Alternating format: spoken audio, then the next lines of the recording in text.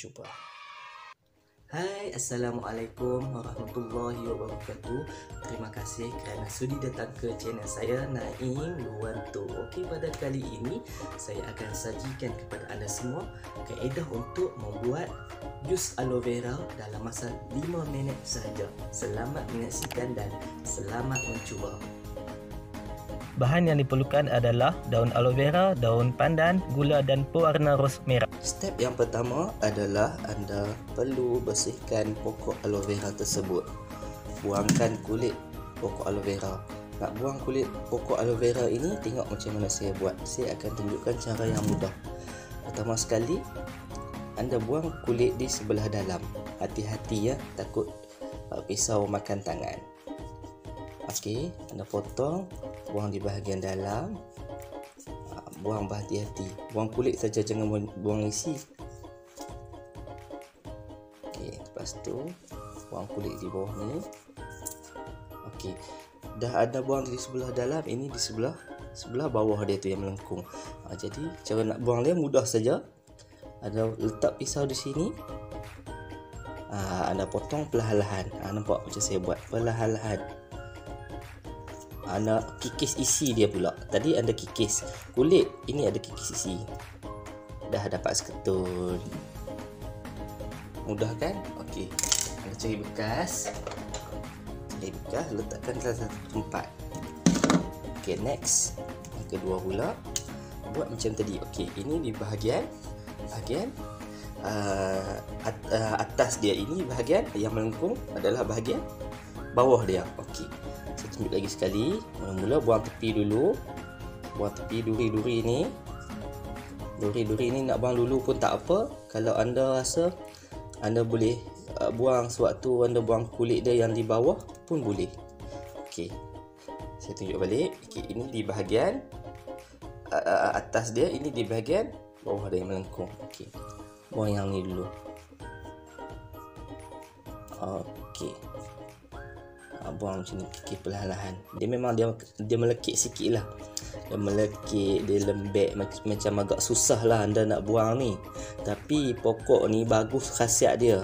Kalau anda rasa nak demam panas-panas badan batuk ha, inilah ubat dia yang bagus sekali. Tak perlu anda nak pergi beli buat ubat batuk semua tu. Ok tengok ah ha, ini diisi dia kan.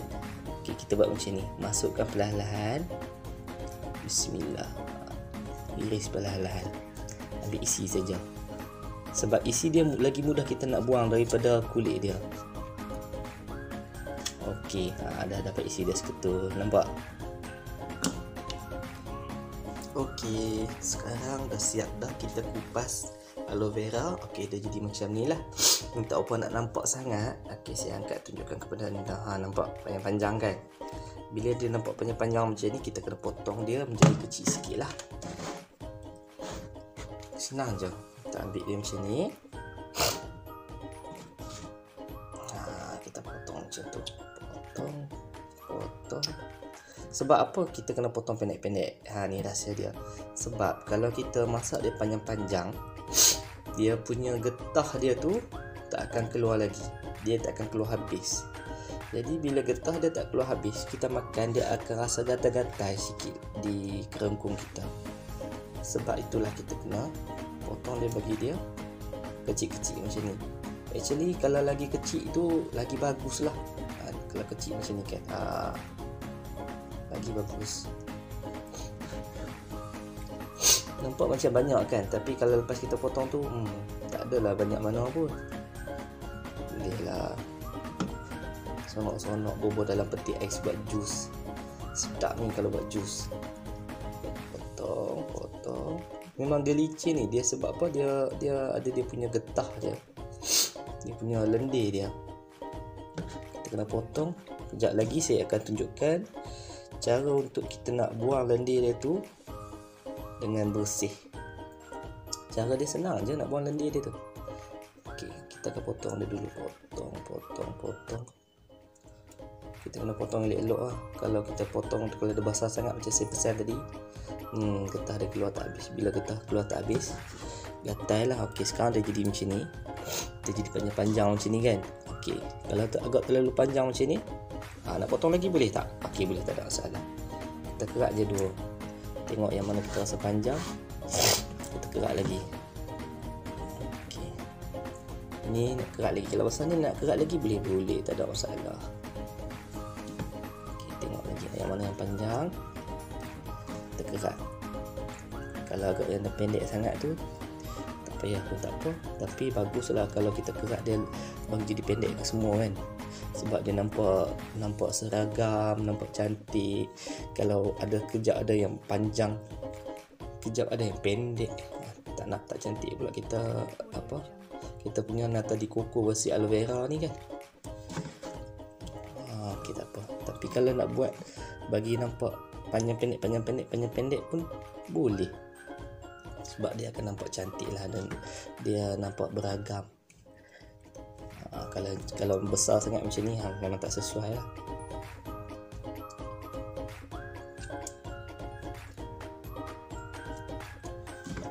Okey, dah habis. Okey, step yang seterusnya adalah kita perlu mencuci irisan aloe vera tadi. Letak kita alihkan je air dekat sini. Kita ramas. Ah, ramas je. Ni, ramas, ramas, ramas, ramas. Apa tujuan kita ramas ni? Kalau kita basuh macam kita basuh nasi boleh tak? Tak boleh. Sebab apa? Kalau kita basuh macam tu, macam kita basuh nasi pula, macam kita basuh beras, nanti dia punya getah tu dia tak akan keluar. Dia punya jus dia tu tak akan keluar. Oh, melompat pula. Ha, cuci elok, ramah, ramah, ramah, ramah. Kena buat banyak kali, kuat-kuat. Dan jangan risau dia akan pecah. Dia memang susah nak pecah sebab bila ada picit kuat-kuat, dia akan terkeluar daripada tangan. Nampak? Daripada tiga batang tadi, ada banyak ni je sebab tu kita kita kalau boleh dia ada banyak lah nak buat tu kalau ada 10 batang kan uh, 10 batang 20 batang banyak-banyak anda buat masukkan dalam peti ais huh.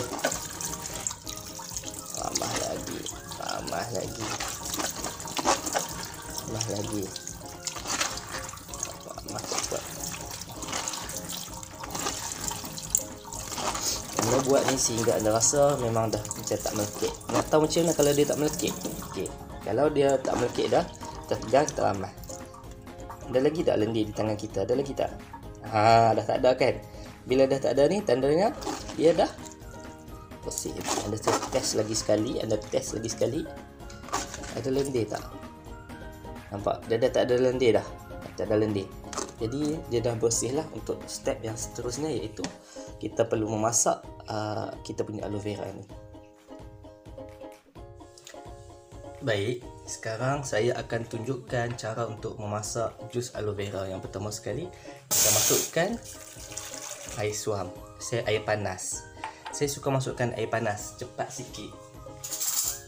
Okey, seterusnya kita masukkan 3 sudu gula. Nak guna gula pasir pun boleh. Kalau tuan-tuan nak guna gula batu pun boleh. Tapi seeloknya kita gunakan gula batu.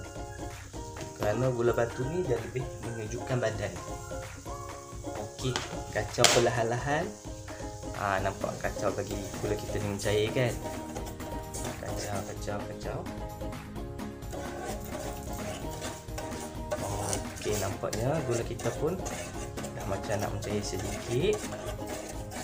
Lepas tu, kita ambil kita punya aloe vera tadi. Ha, kita ambil kita punya aloe vera kita masukkan aloe vera. Masukkan ke semua aloe vera tu. Masukkan macam tu je. Aloe vera ni mesti pastikan aloe vera yang dimasukkan ni adalah aloe vera yang telah dicuci dengan sebaik-baiknya kita tak nak aloe vera ni dia ada getah-getah dalam dia kalau ada getah-getah dalam dia nanti dia akan menyebabkan kita punya pengkok terengkung kita akan gatal Okey. Lepas tu aa, nampak gula pun dah cair. Kita ambil sedikit aa, pewarna yang berwarna merah. Okey, masukkan 3 tipis warna yang berwarna merah. Dengan banyak sangat ah, ni, kalau ni banyak sangat ni kalau banyak sangat saya kena merah terang sangat. Ah, ok macam tu saja cantik.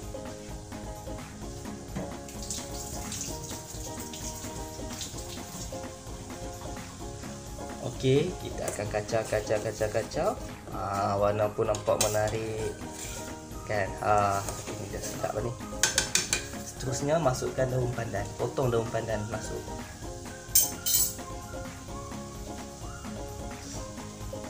Ha, okey kita akan potong dia. Potong dia terus macam ni. Setengah orang dia tak suka potong, dia suka simpulkan. Simpulkan macam ni pun boleh. Simpul boleh. Potong pun boleh tapi kita simpulkanlah nampak nampak macam menarik lagi kan kalau potong nanti nak makan jadi susah sikit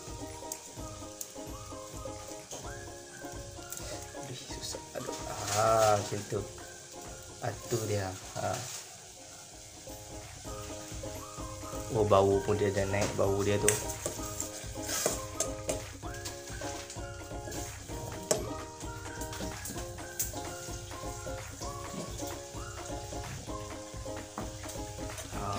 dia.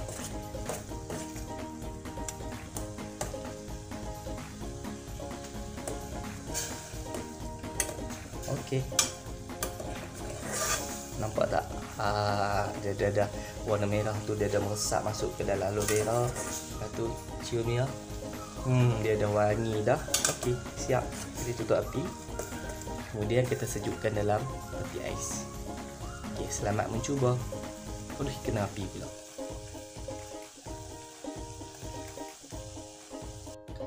Okey, step yang terakhir adalah penyajian minuman.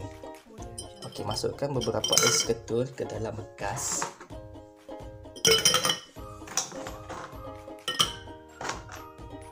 Okey, seterusnya ambil kita punya jus aloe vera tadi, masukkan perlahan-lahan.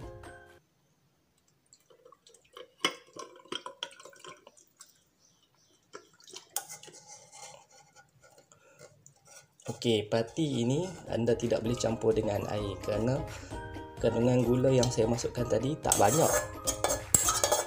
Kalau anda nak campur dengan air, pastikan anda masak dengan gula yang banyak.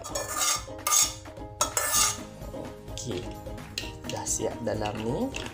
Lepas tu kita masukkan dalam peti ais supaya dia lebih sejuk ataupun boleh diminum terus. Ah, nampak sedap kan?